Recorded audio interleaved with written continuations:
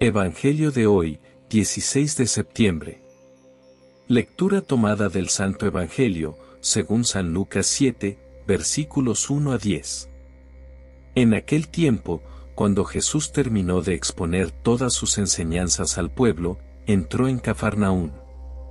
Un centurión tenía enfermo, a punto de morir, a un criado a quien estimaba mucho. Al oír hablar de Jesús, el centurión le envió unos ancianos de los judíos, rogándole que viniese a curar a su criado. Ellos, presentándose a Jesús, le rogaban encarecidamente. Merece que se lo concedas, porque tiene afecto a nuestra gente y nos ha construido la sinagoga. Jesús se puso en camino con ellos. No estaba lejos de la casa, cuando el centurión le envió unos amigos a decirle, Señor, no te molestes, porque no soy digno de que entres bajo mi techo, por eso tampoco me creí digno de venir a ti personalmente.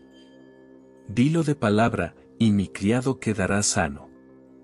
Porque también yo soy un hombre sometido a una autoridad, y con soldados a mis órdenes, y le digo a uno, ve, y va, al otro, ven, y viene, y a mi criado, haz esto, y lo hace.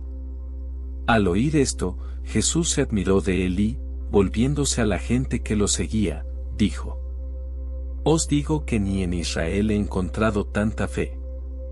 Y al volver a casa, los enviados encontraron al siervo sano. Palabras del Señor.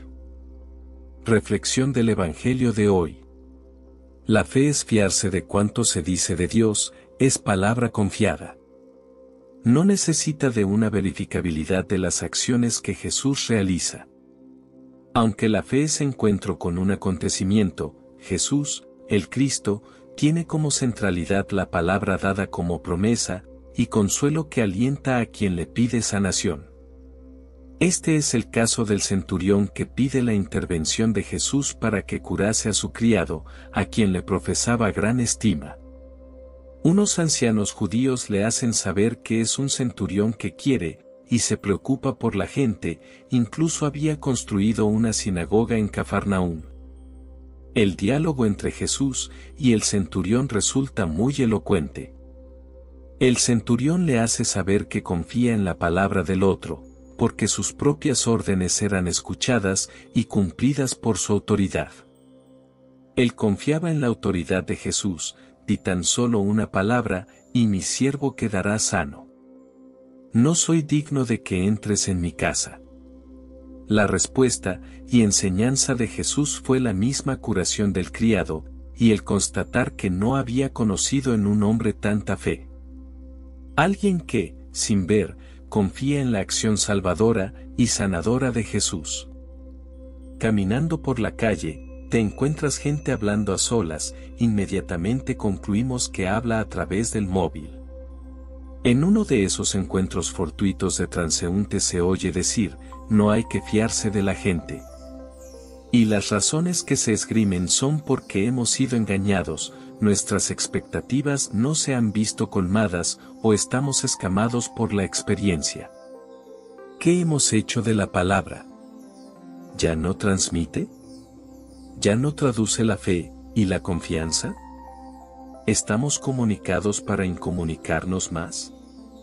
¿No estaremos necesitados de una curación de nuestra confianza? Jesús de Nazaret no solo es el hombre de palabra, también es un profeta de hechos. Sana cuanto a nuestro alrededor parece enfermo. Pero para ello se requiere la fe. No comprenderemos la calidad de la experiencia de Dios si no miramos con los ojos de la fe.